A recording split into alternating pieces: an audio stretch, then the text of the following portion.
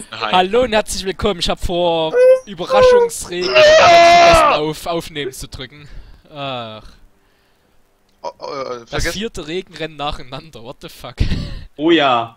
Aber Gut, diesmal ist das erste Qualifying im Regen. Ja, und diesmal ein richtiges Regenrennen. Nicht Und so das halt- auch noch auf, und das auch, Alonso. oh Gott, und das auch noch auf Hockenheim, da wo diese ekelhafte Haarnadel ist. Oh nö. Äh, Ja, Oh ist eigentlich nö. Oh nö. Das Tolle ist, ich bin. Also, hast, hast du Hockenheim geübt, Mjörg? Äh, nicht explizit. Hm. Hockenheim kann Ich ich. bin jetzt Hockenheim ungeübt, quasi, komme ich jetzt auch rein wie alle anderen. Und das Blöde ist jetzt auch noch Regen. Das heißt, ich glaube, KI wird das Rennen gewinnen, sehr wahrscheinlich, wenn sie sich da Das Problem bei, aber bei Hockenheim hast du in der Saison-Challenge immer Regen. läuft. Ja, das ist mir auch mal ein bisschen geübt. Ne? Na dann bin ich mal Oh gespannt. je, gleich die erste Kurve wird schon zum Abflug werden. Jeder. Die erste Well, Kurve ist gleich meine Hasskurve hier irgendwie. well, I'm scared. Mihawk fährt erstmal da schon vorne weg, hat erstmal schon zwei Wagenlängen. Schon wieder? Schon wieder. Ja, bei mir diesmal. Oh, Das scheiße, zu spät. So cool. Ging noch. Oh, scheiße, zu spät. Ja, Oh, genau richtig. Alter, es rutscht so, ey, ich hab keinen Bock auf Wow. Heim im Regen, Mann. Der Heimkompris im Regen. Oh Gott, das. Kann ich meine Streak nicht fortführen, ne? Sieht ja aus wie ein Wolkenbruch als wie Regen. Oh ja. Als wie Scheibe. vielleicht ist es im Rennen ja nur Halbregen oder so. Mal gucken. Alter, Kate Hoppla. und Mihawk fahren hier um den ersten, aber Mihawk dreht's. Äh, ich meine, Kelly Ja, ich fahr vorne weg, aber ich bin raus. noch an Mihawk dran.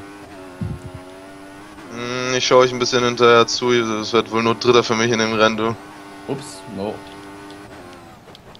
Yo, Regen, ey, meine Güte, dieses Bremsverhalten ist so schlimm und dann rutscht es mich rum. Okay, das war's, ey. Oh, meine Güte. Das wird höchstens Zehnter oder so im Qualifying. Die Letztes nicht. Scheißkurve? Ja, ich hasse die Kurve auch. Ah, Alonso. Wow, viel zu spät. Viel zu spät auf der Bremse. Alonso macht die Pole. Machen wir so.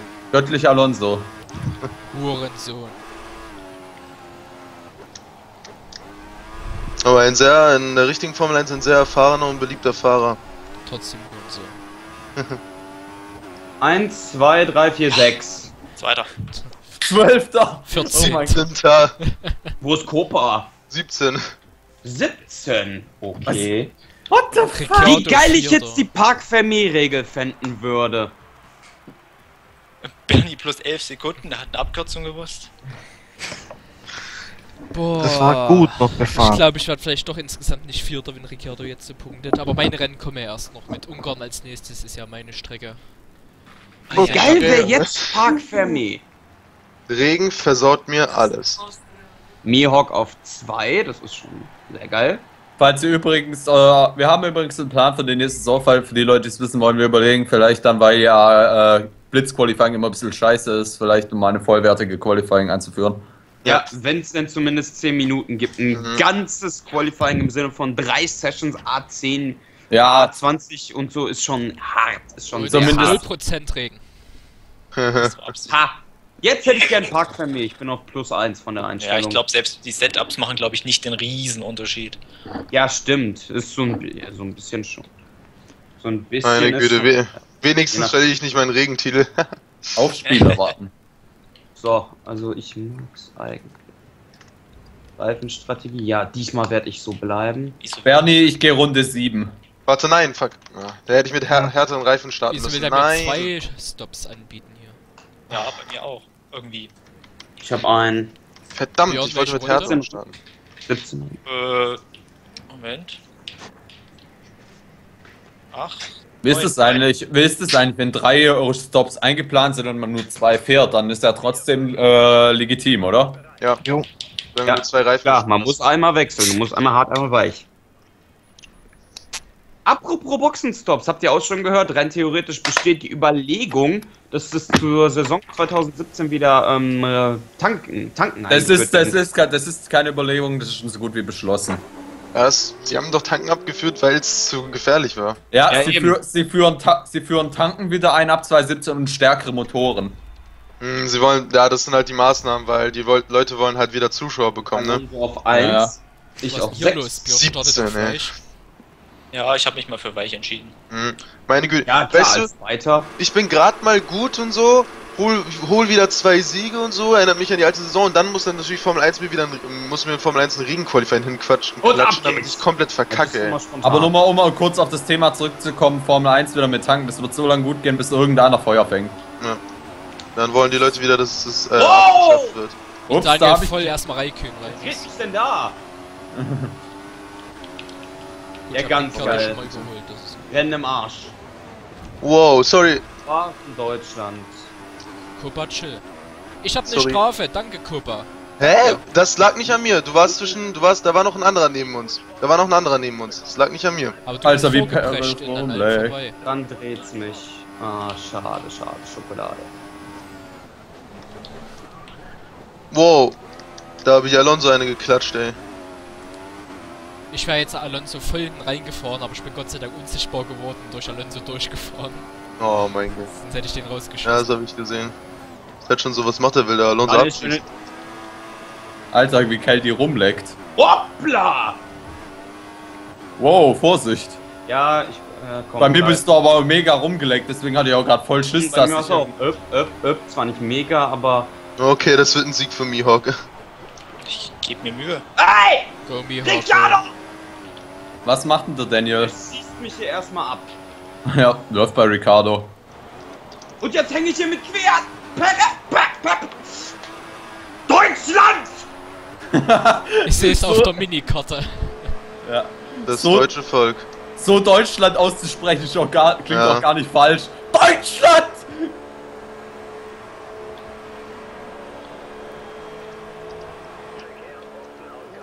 Ding ist in der Box.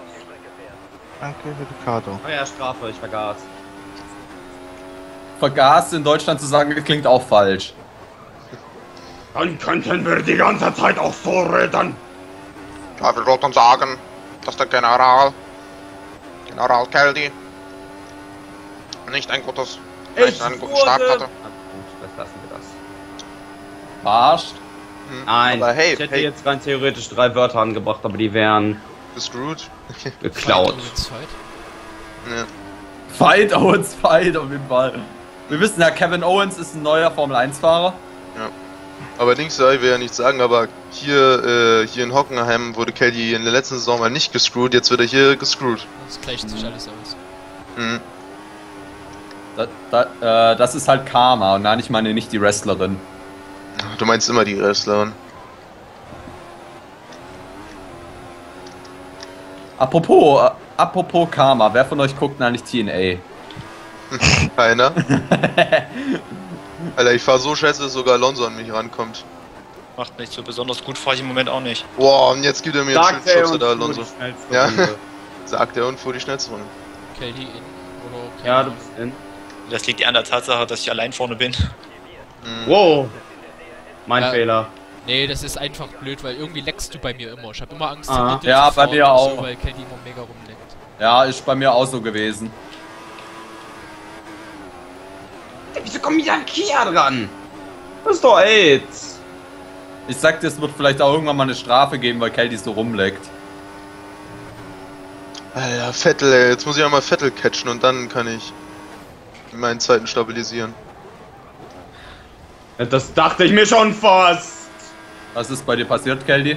Sub ist innen reingezogen und äh, ich hätte eigentlich innen vorbei, aber dann war er schon weg. Och Mann!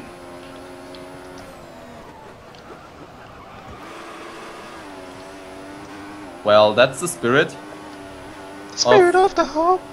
The spirit of the heart. Ja, ja, Mama, ja, Mama. Ich kotze diese Strecke voll. The Spirit of the Cots. the spirit of the gods. Ich komme nicht mal an Sub vorbei. Der Geist einer Kotze? Dann. Machen wir so.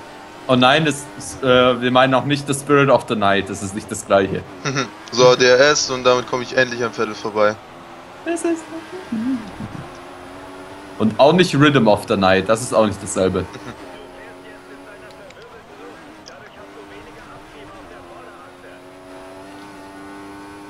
Guck, Kleine Zwischenbilanz für die Zuschauer. Ich bin Eins. Sechster. Zweiter. Der ist da hinten in der Haarnadel draußen. Äh, Bernie ist er wahrscheinlich, weil es Mercedes nicht ist. drüber reden. Okay, dann wissen wir, wer es ist. Nee, das Ja, ist ein Mercedes. Ich wa- wir wissen es schon vor allem, weil ich gewisse andere Leute, die gerade mitten in der Aufnahme sind, direkt hinter mir habe. Irgendeiner steht da draußen, ja. Ja, Bernie. Das ist ein Mercedes gewesen. Bernie steht da draußen einfach auf der Haarnadel und chillt Na, sein wie wir beide erstmal Sotil holen. ne? Erstmal Alle ab. beide schön subtil gefickt. Vielleicht wurde Bernie ja wieder gestört äh, von irgendjemandem. Nein. Mhm. Ja, Nein? ich wurde gestört von Ricardo. Ah, verstehe. Er ist mir von hinten reingezogen, hat mir dann mal den, äh, den, Vor äh, den Frontflügel abgestoßen und ich bekomme dafür die Strafe. Fahr durch, Oh. fahr durch, muss erst Durchfahrtstrafe fahren, äh, ähm, ja, und durfte dann noch eine Stunde, eine Runde lang ohne Frontflügel fahren. oh, das scheiße. Drum stehe ich draußen und chill mal. Okay, Stört damit keinen und schau ich zu. Ja, das ist, das ist cool. Dead Spirit. Das ist auch so ein Partner, mit dem man leben könnte. The Spirit of Germany. Äh, nee. Nein, nein, nein, nein, nein! Dafür ist jetzt gelbe Flagge. Oh, Ja, nee, Disqualified. Ich dachte schon, Kelly ist gelbe Flagge rausgeflogen hat sich jetzt so, geklärt. der Nein, Nein, Nein geschrieben hat. Nee, Bernie wurde disqualifiziert, weil er sich nicht mehr bewegt hat. Ja. Deswegen auch gelbe Flagge, weil er quasi erstmals gecrashed galt oder so. Jetzt kannst du uns über den Zuschauermodus zuschauen, Bernie.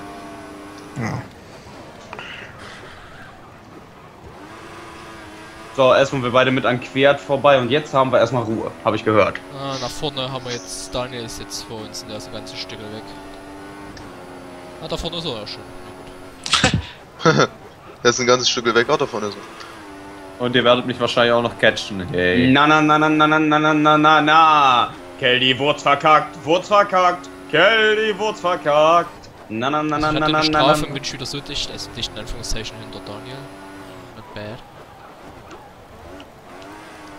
Da siehst du, wie gut ich fahr. Ey, komm, das ist Vollspeed-Strecke, müsstest du eigentlich vorne Podium machen. Mit Mercedes. Ja. Du fährst mit Williams. Ihr müsst aber auch überlegen, ich habe mir ja beim Raikön da ein bisschen angeditscht. Ja, ich hatte eine Strafe. Und jetzt ist es genau äh, andersrum, gerade wie äh, in Silverstone oder in Yes. Österreich. Nur, dass ich nicht so nah ran bin an Mihawk, weil halt 17. Qualifying, ne? Wenn ich 17. Qualifying bin und jetzt Zweiter hier zu Ende fahre, bin ich ziemlich zufrieden damit. Dann ist es echt fast schon wie ein Sieg, du. Was, was, was hast du zum Beispiel als Zeit? Ich habe 1,22, 4,21. 21,3. Ja, merkst du was. 21,2. 1,25. Ja, merkt da was. Alles gleich. 1,24. Ja, ne? Weißt du, so knapp verpasse ich hier Mihawks Bestzeit, Mann. Auch mal wieder schnellste Ja, Runden und fahren, diese aber Runde habe ich schon auf Daniel ein bisschen aufgeholt.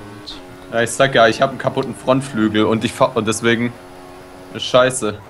Ihr, ihr werdet mich kriegen und Ja, das. dein Boxenstopp dauert ja dann auch mal noch 2-3 Sekunden länger. Ja.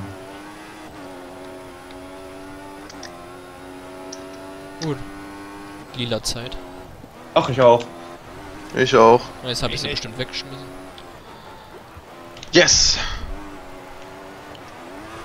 Zeit, dass Koba sich mal wieder eine schnellste Rundenzeit holt. Na, jetzt habe ich sie weggeschmissen. Ich bin dran. 17, 18, 19, ah, 20, 5. Oh, 20,5. hui. Ich dachte schon. Wie er sich wegen einer besten Rundenzeit äh, Sorgen macht. Mhm. ja, First World Problems! Eben. Ich guck hier als, alleine als Zweiter rum. Das Rennen ist voll langweilig, dann will ich wenigstens die schnellste Runde haben. Wenigstens hat er gesagt. Wenigstens. Ihr wisst ja, Mjörg, er hat's immer erklärt, ich setze meine Prioritäten anders. Meine Prioritäten sind nicht. seine Prioritäten anders, hat er gesagt. Ich- er setzt Oh, Prioritäten, jetzt- hat er gesagt. Heul nicht rum, Mann. Nein. Ich heul nicht rum, ich lache nur. Ja, er hat aber auch recht. Er hat aber auch recht. Da Daniel Schnauze, ich werde nicht hier in Daniel-Kisten gepackt. Nee, aber ich meine, er hat recht damit, sich drüber lustig zu machen. Wieso? Weil Wenn du manchmal. dich über die Ziele von anderen lustig machst, ist das ehrlich gesagt Nein, ein bisschen erbärmlich. Okay, ich wurde gerade erbärmlich genannt, auch nicht schlecht. Nein, nicht du. Aber auch egal. solange du dich nicht über meine Ziele lustig gemacht hast, sondern nur wie ich das formuliert habe oder sowas, dann ist es auch Dann nicht ist erwähnt. das was anderes. Ich hoffe, das war so, Kelly, oder? Natürlich war es das so. Das Ja. kam Ja, gerade Box. so eigenartig. Mach mal die Tür zu, dann passt's wieder. Erstmal guten Abend. Guten Abend, der Herr. Ne? Und mal etwas ruhiger bitte. Das hört irgendwie jedes Mal, wenn Kelly von mir da ist. Bitte ruhiger. Wir Okay, wollen kann schlafen oder. flüstern, ne? Ein bisschen ruhiger bitte. Lol, what? What, what, what, what. What, what? In der Bar. Geld, du denkst zu laut, ruhiger. Eben. Boah, Kelly, schrei nicht so rum, ey. Meine Güte. So, aber wenn ich mich recht entsinne, hat Miok da auch mit weichen Reifen gestartet, ne? Korrekt. Gut, okay. Oh, es geht schon so viel besser mit neuem Frontflügel. Uiuiui, oh, meine Güte. Also. Das wird die Einfahrt ein bisschen vergeigt. Mm, ja, in, ja, ins Motordrom. Die Einfahrt ist echt fies, die Kurve, finde ich Ja, manchmal. die ist, muss sagen, in DTM Race Driver ging die einfacher.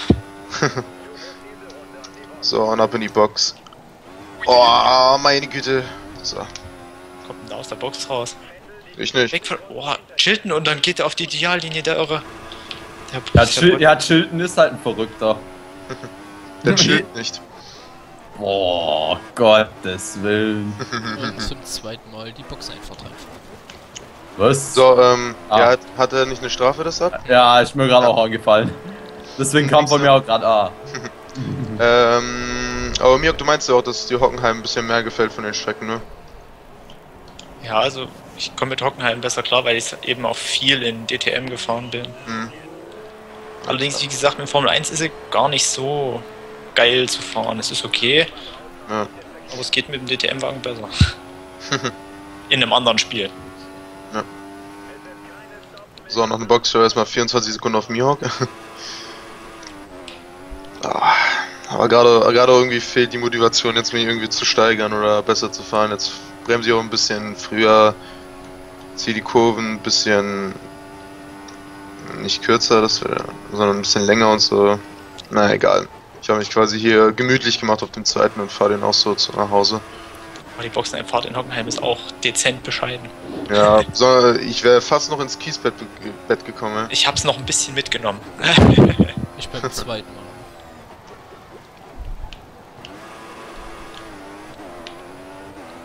Besonders ist es immer schwierig, wenn der eine dann innen vorbei überholen will und du ziehst dann in die Boxeneinfahrt rein. Mhm, Das ist schlecht. Dann Ja, die- kracht's richtig. Mhm, Da hatte ich ein Video von Pizmeet gesehen, wo dann ähm, einer PJ innen überholt, ja, äh, ja genau, Oh, schreien oh, in die Boxengasse reingeschoben hatte. Das war, Peter! Peter! oh Mann, der wurde so zusammengetrollt, ey, das ganze Rennen lang. Oh, Jay hat. Jay, Jay ist ist auch so ein Besserwisser da in Formel 1. Ja, ja. Allerdings, ja, das war halt auch mega dumm für ihn. Wenn, dann lässt er sich nicht mittragen, sondern bremst irgendwie ab oder so, um dann halt andere Richtung zu nehmen. Aber der ist einfach gerade geradeaus weiter mitgefahren, da hättest du auch was dagegen machen können, dass du da nicht in die Box mitgetragen wirst. Vor allem äh, Jay ist echt so der einzige bei Pizmeet, der sich irgendwie für große Formel 1 und Wrestling interessiert. Das ist ja auch das Geilste. Von dem her, so der Rest hatte von Formel 1 keine Ahnung so groß. Schade. Na okay, Formel 1 ist nicht mehr so groß, wie es damals war, aber es macht trotzdem immer noch Spaß zuzuschauen, also für mich. aber halt, wo wir halt darüber geredet haben mit diesen Tankstops und so, weißt wisst ihr, das ist halt ein Riesenproblem für eine Formel 1, nachdem die halt auf Hybridmotoren und alles gewechselt sind, ist die Formel 1 halt langsamer geworden, weniger Überholmanöver und viele haben jetzt gesagt, so, ja, die ist langweilig. Zum Beispiel Hockenheim hatte keine Lust, die jetzt äh, nächstes, äh, dieses Jahr zu übernehmen, weil die halt zu viel Angst haben, riesige ähm, Verluste zu machen. Überall gibt es nur noch Verluste auf den Rennstrecken und so. Beson- Und hier in Deutschland war es halt so. In Nürburgring ist ja insolvent gegangen und alles. Und ja, das lag aber Sport- nicht nur, das lag nicht nur an der Formel 1. Sondern, Nürburgring hast du die ganze, das ganze drumherum mitbekommen. okay, Nür ja, Nürburgring ist ja was anderes, aber ich dachte zum Thema halt, Also Aber- Strecken leben ja jetzt auch nicht nur von der Formel 1. klar. Eben. Aber halt, äh, wenn ich halt über Form die, die Strecken rede mit Formel 1 Situationen, weißt du, weil Bernie macht doch diese Lizenzen da, dass du quasi veranstalten darfst. Die Formel 1 macht da extrem teuer für die Streckeninhaber und dann lohnt es sich nicht mehr für die quasi dann halt die Strecken zu hosten, wenn die zu wenig Einnahmen machen. Deswegen kommen halt wieder Tankstops kommen wieder ein bisschen dickere Motoren, sollen halt wieder kommen, damit halt wieder Interesse im Sport geweckt wird, sonst stirbt die Formel 1.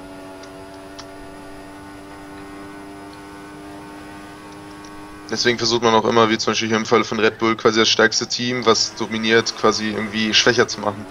Die haben halt die ganze Zeit, die, gan- die ganze Zeit versucht, Red Bull zu schwächen und dann halt 2014 ist ihnen das geglückt. Und dann kam Mercedes. Ja, und dann kam Mercedes, weißt du? Die wollen halt wieder Zeiten wie Ferrari gegen McLaren, Schumacher gegen Häkkinen oder sowas oder.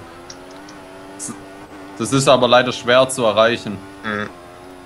Du musst halt zwei Teams finden, die ganz stark sind. Ferrari ist halt ein guter Herausforderer in dieser Saison, aber nicht stark genug, um eine um wirkliche wirklich Bedrohung zu sein. zu sein.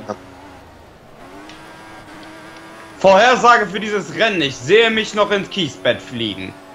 Vorhersage für dieses Rennen, Mihawk erster, ich zweiter und dahinter irgendwo die KI oder vielleicht kommt ja noch einer von euch aufs Podium. Naja, Vettel ist 7 Unwahrscheinlich. Sekunden hinter dir. Danach ist Da Alonso. ist die Chance, dass Sub mich überholt, größer. Mit wie vielen Seiten die überhaupt alle?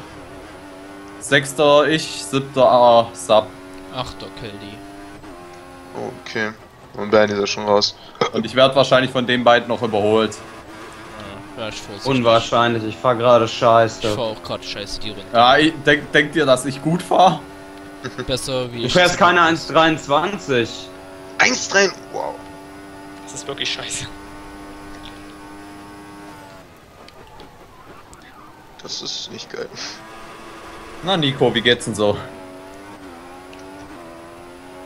Oh nein, ich meine Hülkenberg, nicht Rosberg. Hashtag Motivationskeule. Bitte.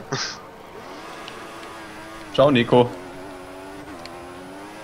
Ach, war jetzt 20-1, war nicht so schlecht. Mm, 1. 21. 20-1 ist halt echt. ist schon gut. Mit einem harten. Der hat auch von 6 auf 7 Sekunden ausgebaut. Selbst wenn, den hole ich nicht mehr ein. Außer Mihawk macht irgendeinen riesigen Fehler. Ich habe noch Überrundung. ja, komm schon, jetzt kommt Bianchi und entschuldigt sich bei mir, indem er, indem er dich dazu bringt, eine Strafe zu bekommen. nee, momentan ist erstmal Chilton. Mal schauen, vielleicht wird's ja so wie ein Monster. Da hatte ich ja den Sieg auch 100% drin, dann kam Bianchi. Göttlich Bianchi, ey. Der hat immer dieses Jahr Punkte geholt. Und das vollkommen zu Recht. Weil du ihn ja auch die ganze Zeit gesehen hast, wie er gefahren ist und wie die anderen gefahren sind und so. Nee, das ist Intuition. Hey, nichts gegen Bianchi. Okay, Eben. der ist, der ist schon arm genug dran. Ja, der eben. richtige Bianchi, aber nicht der Formel 1 Bianchi.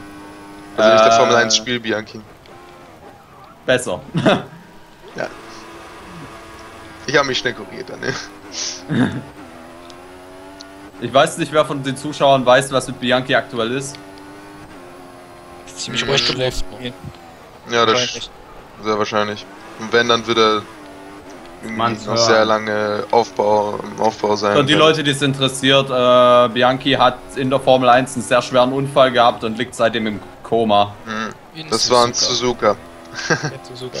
Dort ist er nämlich, ähm, da gab es halt schon vorher einen Unfall, ich glaube von Sutil, und der wurde gerade mit so einem Laster quasi, äh, äh, Kran, Kran äh, Fahrzeug da quasi abgeschleppt und der Bianchi ist dann halt sogar in der Safety Car Phase rausgerutscht und haut, haute dann sich seinen Kopf direkt gegen halt diesen Kran. Weißt du, der ist unten, der ist dann unter, unten durchgerutscht, aber sein Kopf äh, hat es nicht so gut geschafft. Und der ist dann halt sehr lange im Koma und jetzt wahrscheinlich immer noch. Und es ist nicht bekannt, ob er wieder aufwacht oder was ist los. Mhm. Ja.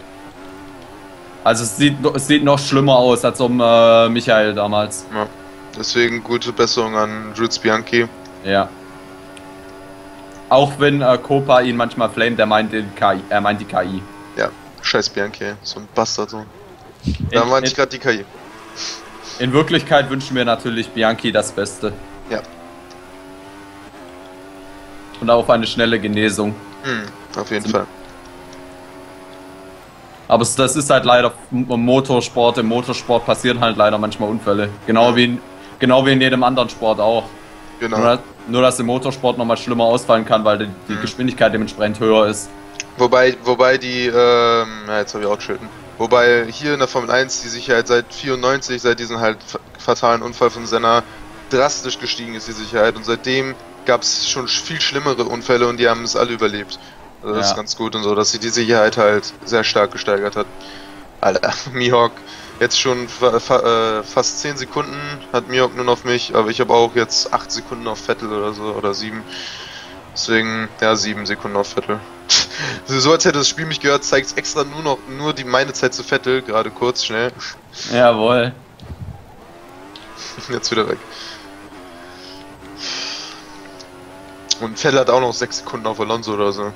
Also da wird sich in den ersten vier Positionen jetzt nichts mehr ändern. Hülkenberg fürs DS. Und siebter. Und damit kriegt Mihawk wieder die Führung, ne? Mit zwei Punkten aber nur. Vermutlich, ja. Wie sieht denn dein Benzin aus, Koba? Äh, plus eins. Glaube ich plus zwei die ganze Zeit schon. Was? Und ihr schon an Hülkenberg jetzt dann vorbeigekommen, oder wie? Ja. Okay. Ich habe immer noch Wow. Sub macht genau denselben wie ich. Oder andersrum. Okay, ich glaube, ich habe ein oder zweimal auf Fett gestellt auf einer Geraden, aber nicht mehr, das war ganz selten.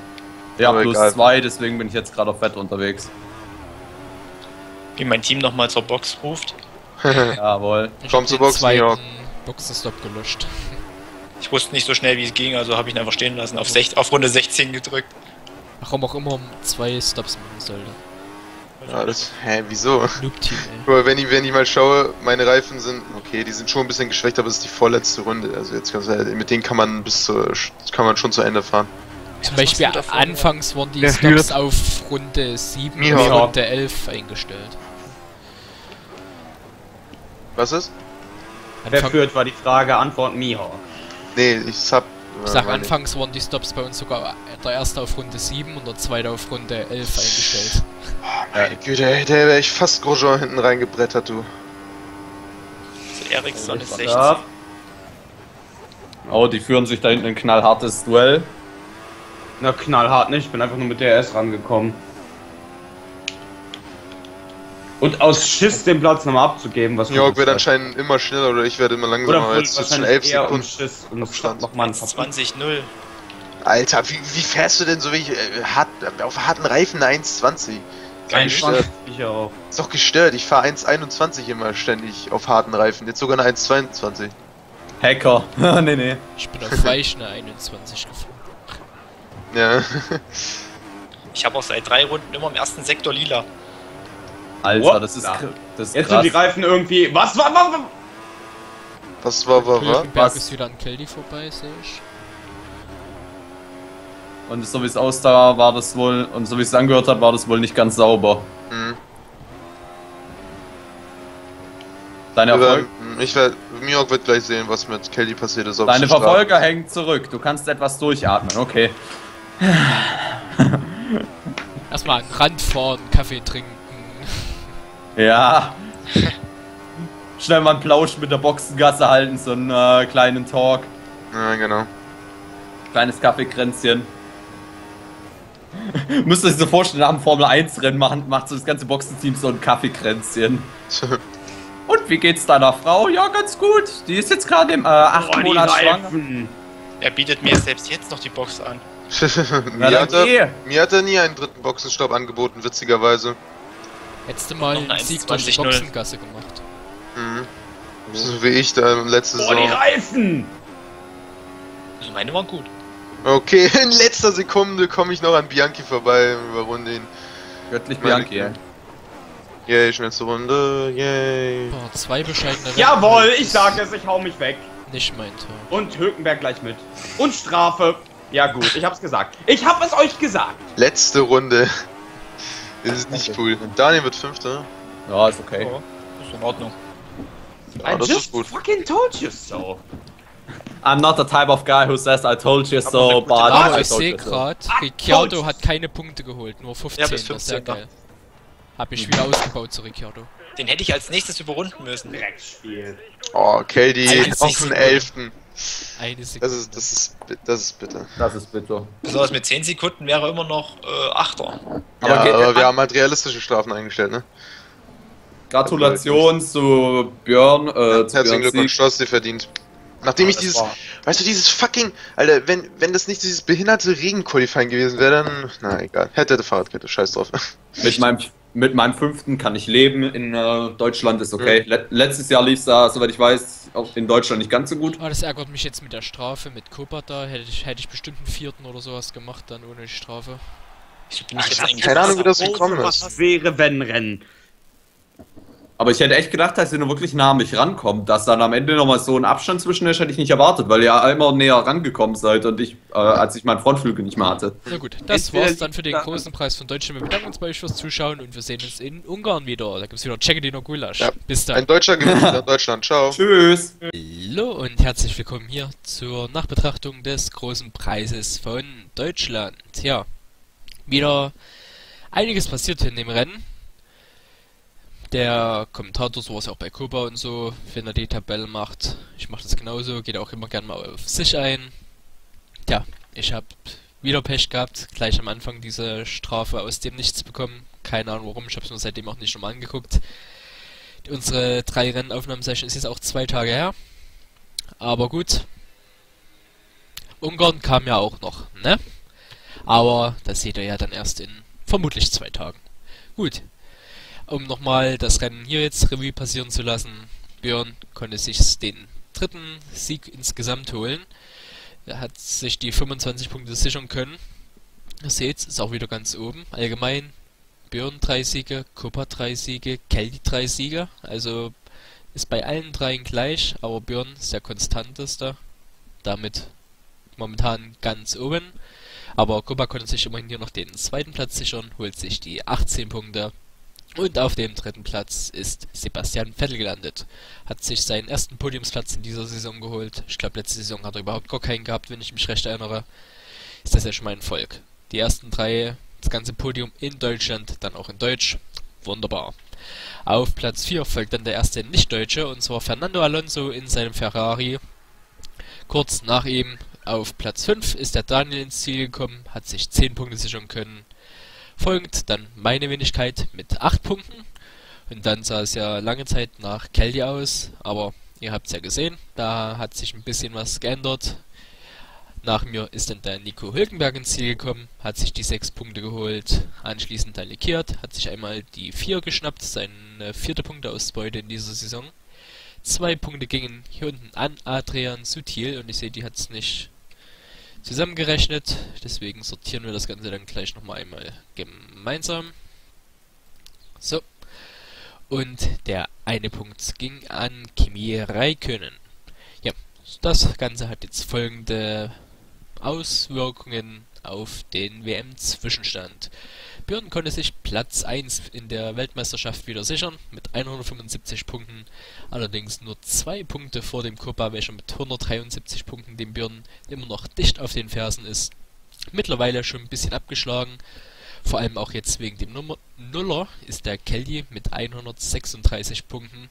Also wenn Kelly nicht noch eine Streak schafft, wie hier zwischenzeitlich in Monaco und Kanada, könnte das ein recht safer dritter Platz werden, aber ich denke, Kelly wird schon einen noch einmal von angreifen wollen. Ja, auf dem vierten Platz dann immer noch meine Wenigkeit mit 105 Punkten, konnte im Gegensatz zu Ricciardo einmal punkten, welcher, wir sehen's, eine 0 in Deutschland geholt hat, steht jetzt immer noch bei 84 Punkten, sprich ich habe jetzt gute 21 Punkte Vorsprung wieder. Das ist ja schon mal was. Auf dem sechsten Platz steht trotz seines dritten Platzes in Deutschland immer noch Sebastian Vettel, allerdings nur ein Pünktchen hinter seinem Teamkollegen Daniel Ricciardo, also Vettel pirscht sich jetzt wieder ran. Letzten Rennen waren stark, 10, 12, 15 Punkte, also Platz 5, Platz 4, Platz 3. Mal schauen, ob sich Sebastian Vettel in Ungarn auch noch den zweiten Platz holen wird und dann in Spa vielleicht sogar siegen. Schauen wir mal, ob der Aufwärtstrend so weitergeht. Ja, hinter ihm ist der Daniel, hat 10 Punkte holen können, hat damit wieder jetzt 5 Punkte auf Sebastian Vettel eingebüßt. Im Gegensatz dazu hat allerdings Fernando Alonso auf Daniel aufholen können, zwar nur zwei Pünktchen, aber immerhin. Vielleicht muss der Daniel dann doch seinen Fokus eher auf Fernando Alonso setzen und nicht auf Sebastian Vettel, dass er ihn erstmal hinter ihm halten kann. Er steht mit 54 Punkten da. So, Bernie hat ja ein bisschen gechillt in dem Rennen, wurde disqualifiziert, hat demnach keine Punkte geholt. Allerdings hat Nico Hülkenberg noch einmal ein sein drittbestes Saisonergebnis geholt. Ganze 6 Punkte, steht damit auf Platz 10. Kimi Räikkönen hat sich auch mal wieder ein Pünktchen gegönnt, auf Platz 11 mit 21 Punkten. Hinter ihm, allerdings nur zwei Punkte hinter ihm, ist Alikiert, welcher auch mal wieder punkten konnte, das vierte Mal diese Saison. Steht bei 19 Punkten. Ansonsten hat sich hier unten bloß etwas getan in Richtung Adrian Sutil, welcher sich zwei Punkte sichern konnte und somit auf Platz 15 vorspringt. Ja, Kobayashi, Chilton, Ericsson immer noch ohne Punkte. Ich glaube einfach mal, dass das auch so bleiben wird. Und ja, das war's dann mit dem großen Preis von Deutschland. Ich hoffe, ihr hattet Spaß und ich hoffe ebenso, ihr schaltet auch in Ungarn wieder ein. Bis dann.